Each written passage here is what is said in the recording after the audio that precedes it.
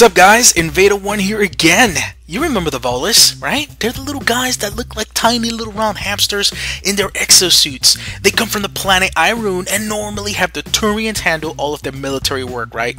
But some time ago, we gotta look at what the Volus are capable of. Oh yeah, the Volus were added to Mass Effect 3 multiplayer via the Retaliation DLC. Now, although I've done guides and build videos on the little pudgy guys, I feel it's necessary to go back now with all of the knowledge we have now on the Volus' abilities and clearly break out how powerful they are and how effective they can be. Oh, and uh, we're also going to talk about how racist you are. Yes, you heard me correctly. Racist. R A C I S T U Y O U. That's right. First, to make this easy, instead of going through a boring build process for each Volus, I'm going to explain which part of their abilities are the same across the board, how to use them, why they are so important, and why they make these little guys overpower little cannonballs. Alright? First, the Volus Light Melee. All Voluses have a cloaking ability. It is very short and lasts only 4 seconds, but it works. It is the most effective cloak out of all the characters in the game. I have literally seen enemies coming directly at me, and the moment I cloaked, it turned almost immediately after another teammate. Oh yeah, it's a teammate troll tool. So if you didn't know this, now you know right? The best way to use the Volus is to treat them like mini up and close personal infiltrators. You can cloak, go up to an unsuspecting enemy, and deal some pain. Next is the Volus' Heavy Melee, or also known as the Volus Defensive Stance. Now this one is important as many don't use it or even understand what it does. The Volus' Heavy Melee does a few things. One, it makes the Volus look so cute. Oh, look at that, just so cute. You just want to squish his little ball body. And it also gives off a decent yet somewhat weak pulse that hurts the enemies around you, staggers them, provides a limited damage reduction bonus, and slowly regenerates your shields. You see? Oh yeah, Cerberus, take that, yeah, take that, eat the Volus Rage. Volus passives, or also known as the Volus Awesome N7 Badassery Training, right? Right? Except for the Volus Engineer can be spec the same across the board, allowing you to take advantage of the weight capacity bonus on rank 4 at the bottom to equip heavy weapons without affecting power recharge time so much and to take advantage of the rank 5 shield boost bonus of shields restored by 30% for even more boost, shielding boost, shield stuff, shields, yeah, go shield boost. Shield boost properties in rank 5. You don't need to go to rank 6 here to give you more points you know, for fitness and power, so you can have, you know, at least put three points in fitness. And uh, for the Volus Engineer, you spec out to rank 4 weapon damage instead, keep shield boost the same on rank 5, and actually fill in rank 6 for weapon damage to make this little guy an offensive powerhouse um, even if it's a little powerhouse. But it's a, it's a powerhouse nonetheless. But that engineer guy needs all these in the passive, so like that he could be super powerful with the rest of his powers. You'll see what I'm talking about next. So I know what you're thinking. Why does Invader think I'm racist? Well, I'm going to answer that in a moment. Uh, can I get through telling you whether Voluses are awesome and get through that first? Get some patience, alright? Seriously, get it now. Anyway, so going on, shield boost. Oh yeah, we're getting to the juicy stuff here. This is the power that makes the Volus so powerful, amazing, and a character that if played right can live on wave after wave without dying. Now, this I definitely recommend to spec it out this way always. On rank 4, go for the bottom to increase shields 40%. On rank 5, regeneration to reduce the delay of shields regenerating for you and your friends if, if you, you know, if you have friends. On rank 6, protection. Why? Because it increases shields by 50% for you and friends. Well, again, you have friends. Mind you, this is mostly for your support because the Voluses uh, wouldn't even need to go up to this rank to restore all shields. But the reason I love this rank is because of the second part of this awesome ability, which is take 50% less damage for 60 seconds. That's why before running from one spot of the map to the other, you should always use shield boost so that if for some reason a marauder wants to shoot you up Kingdom Come, you can handle it, right? Fitness. If you're going to make all of your Volus characters to be more offensive, the way I am presenting them here, then you only want 3 points in this rank. Anything else is just you wanting to make them tankier, which let's be honest, you'll never be. The Volus fitness is so low, it's not even worth me mentioning the number of shields and health they have. Simply put, work it out so that your shield boost is specced out the way I showed you, and use it when moving from soft cover to soft cover and you'll be unstoppable. the Volus roll. Oh yeah, these little beach balls roll. This is one of the best maneuvers against Banshee Warp Balls. You can roll to the side when a Banshee Warp Ball comes at you or forward to miss it. If for some reason though you are hit by a Banshee Warp Ball, use your shield boost to get better, or if it's not available yet due to your power recharge, do the Volus Heavy Melee to get damage reduction bonus which will reduce the Banshee Warp Ball's effect and it'll fight to recharge your shields against it until your shield boost recharges. So, so far I have illustrated how awesome all the Volus are, simply in their similarities, and yet when I go to Pug lobbies, I don't see you using the Volus. Why is that? Oh yeah, We'll get you, you being racist in a minute, don't worry, oh yeah, I will. So now that I have illustrated the awesome similarities and abilities that the Volus have across the board, let me show you what the rest of the individual abilities should be for each of these four little mini marshmallow commandos should look like. For the Volus Adept, you want his stasis as it is awesome at stopping all non-armored enemies. Spec it this way or else. Just kidding, just spec it this way.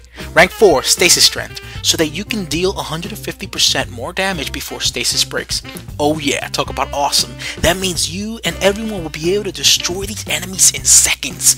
Rank 5, bonus power so that in case you need to use your shield boost right after, there is a chance that you won't need to wait for the power recharge. And rank 6, bubble so that you can trap multiple enemies. I don't know why you wouldn't think this is good, but yeah, you want to trap multiple enemies. Alright, so let's go on to Biotic Orbs. I mostly use this for power recharge in all honesty, although you can create biotic explosions by catching characters in the stasis bubble and detonating them with the biotic orbs. And don't get me wrong, this is cool, you'd have to use very light weapons to do this continuously though, okay? But personally, I prefer to keep the biotic orbs always on as a means to keep my power recharge strong and use heavy weapons that will allow me to kill enemies faster and use my other abilities for tactical play, right? By specking it out this way, you will get a maximum of 60% power recharge bonus for your powers. Rank 4 damage, rank 5 recharge speed, and finally rank 6 orb count so that it adds on to the recharge speed count since each orb provides a percentage towards that count. So having more equals more power recharge bonuses. And we're here to the Volus Engineer. This little guy is awesome as you can use him offensively in such an amazing way. He has recon mine and proximity mine powers. You can use the recon mine to constantly create powerful explosions that devastates enemy hordes or use it to highlight and weaken enemies for your team. And you also have the proximity mine to debuff enemies, allowing them to take more damage and destroy them with your weapons. That is super badass. You want to spec into damage in rank 4, as you already have a decent radius of 6 meters, and then damage of rank 5 for an additional 40% damage. And if you mainly play gold and lower difficulties, then take the invasive scan so that it is a team power that debuffs enemies by having them take more damage and also revealing where they are to the rest of the team. But if you are back and forth between gold and platinum difficulties, I would go for armor damage in order to drop a massive blow to the enemy boss spam and spawns and clusters of enemies that have lots of armor. For the proximity mine though, you only need to go up to rank 5, where rank 4 is radius to debuff more enemies at once, and rank 5 is damage taken, which is the rank that provides the debuff and allows those affected enemies to take 20% more damage for 8 seconds. I play this little guy kind of the way I play the Geth Infiltrator, where I cloak and go to a spawn, drop a proxy mine and shoot the enemy to pieces, or do the same but use the recon mine and blow them all to pieces. Oh yeah. So, uh, why are you not using this guy? Huh? Why? Don't even get me started on how racist you are. Yeah, you! Why wouldn't you use this guy? okay, moving on. The Volus Mercenary Sentinel is so great. He has powers like the combat drone when spec right stuns phantoms, yeah, phantoms, and then decoy when spec right shocks enemies and confuses synthetic and weaker enemies allowing you to drop them like the bad habits they are. For both powers you can go back and forth between which one you want to explode. If you want the decoy to explode, then you fill it in that way. You fill in the power that way. But if you want the drone to explode, which is what I normally choose as the drone power allows you to activate it behind enemies. That's pretty much why I like to activate the drone, uh, the, the drone right behind the enemy, and it's just way more effective that way, allowing you to allowing you to use the combat drone more offensively, so that when they destroy it, it also affects them when it gets destroyed. Oh yeah, tactical thinking. For this build, I recommend on Decoy rank 4 durability so it can last longer and rank 5 shock as, as its range is decent and all the lower enemies get a good taste of shock juice for breakfast, right? For combat drone, go to rank 4, detonate as it provides 640 points of damage across 5 meters. See?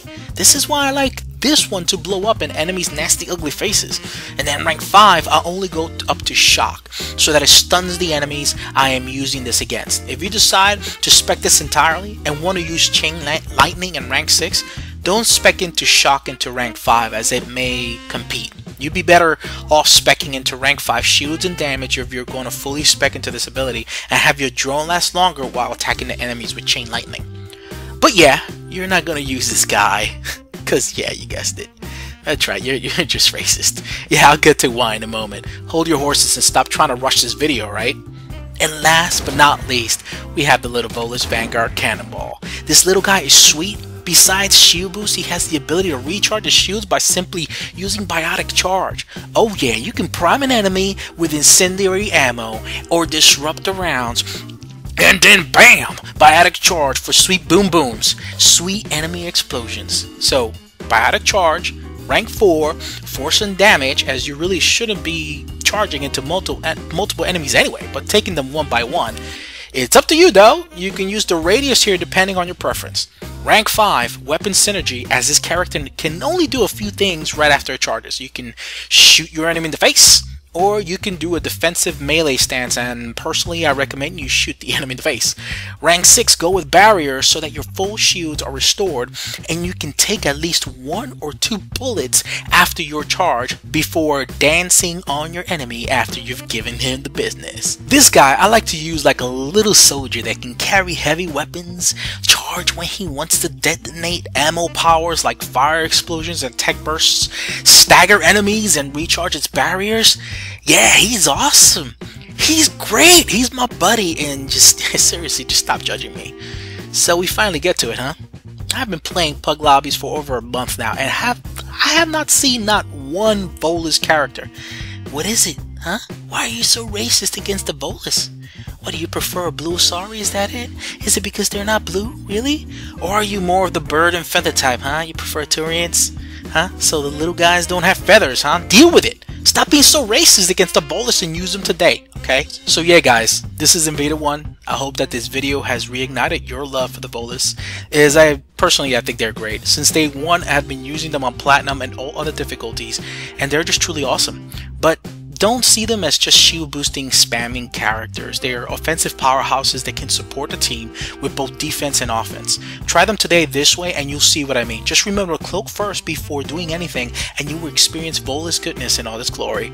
You can use heavy weapons like sniper rifles, shotguns like the Reegar, the Raider, the Wraith and more. He's not limited. They're not limited. Those who think that the Volus are limited are the ones who are limited in thinking. This has been fun, even if all you have been is just super racist. Still, this is Invader 1, and see you on the next video. If this is your first time here and you're interested in a channel focused specifically on Mass Effect, including upcoming single player, let's plays, tips and tricks, Mass Effect 3 multiplayer guides, including hardcore challenges, team ups, and live comps, top lists, Mass Effect art, books, news, and more, with a new video every week on Tuesdays and other videos throughout the week, then click on the subscribe button to stay connected with everything Mass Effect. Thank you for watching and see you in the next video. Invader 1 out at N7 Spec Ops.